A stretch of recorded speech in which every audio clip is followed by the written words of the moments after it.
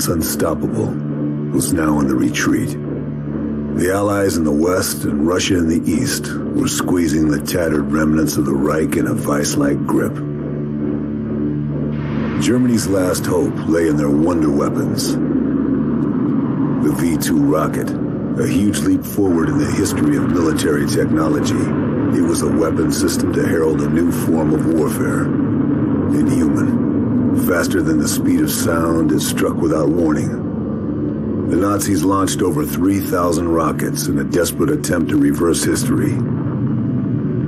It was a terror weapon, pummeling Antwerp, Paris, and London. After the D-Day landings, their launch sites were overrun and pushed back out of range of England. But already, the Allies were looking to the future, to the next war. The Americans were gathering up the best of Germany's rocket scientists in the top-secret Operation Overcast. Many of the architects of the V-2 program had already been acquired, but not all. With Berlin encircled, Germany's last-ditch defense falling back block by block, and total defeat only days away. Those scientists remaining in the city would soon be in Russian hands. My job was to make sure that didn't happen.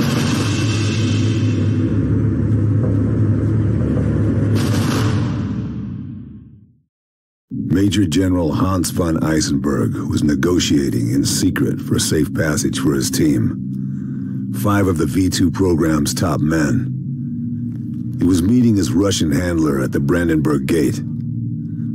This was my chance to take him out before he could...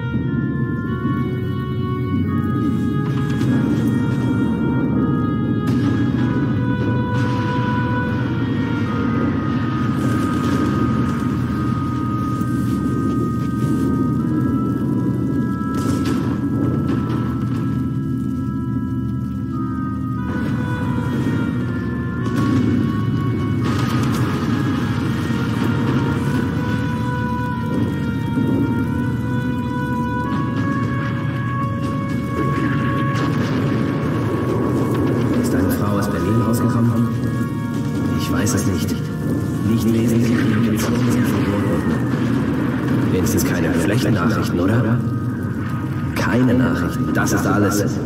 Ich will nicht daran denken.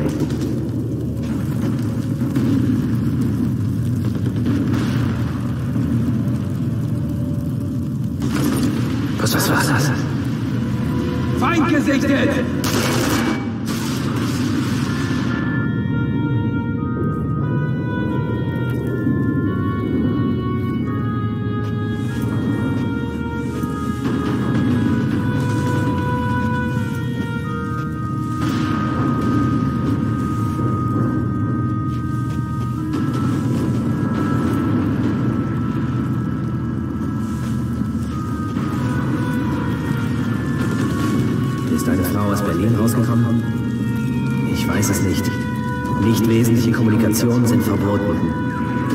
Wenigstens keine schlechten Nachrichten, oder? Keine Nachrichten, das ist alles. Ich will nicht daran denken.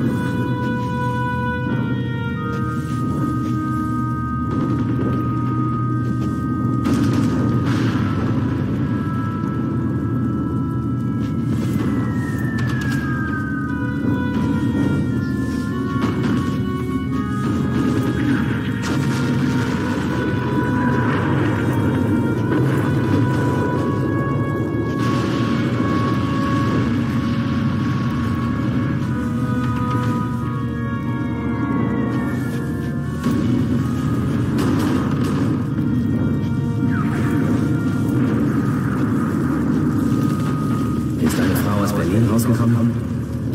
Ich weiß es nicht. Nicht wesentliche Kommunikationen sind verboten. Wenigstens keine schlechten Nachrichten, oder? Keine Nachrichten, das ist alles. Ich will nicht daran denken.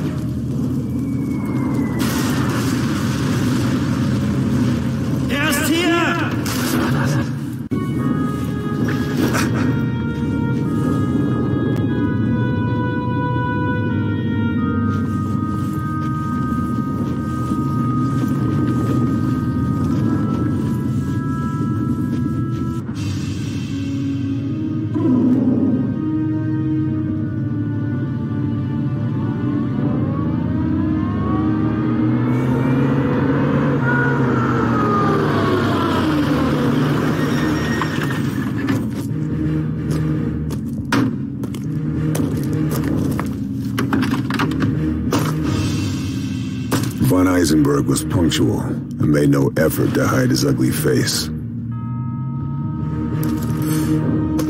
Neither did his Russian contact.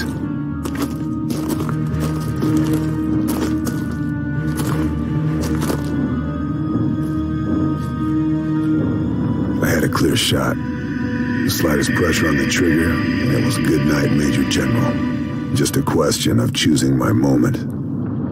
The square was well sheltered, so there was no wind to worry about. I had to aim one notch above the target to compensate for bullet drop.